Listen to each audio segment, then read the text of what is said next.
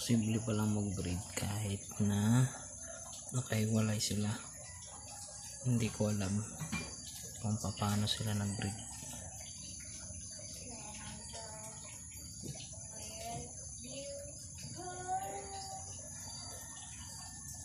Ano kaya niya kinuha yung itlog?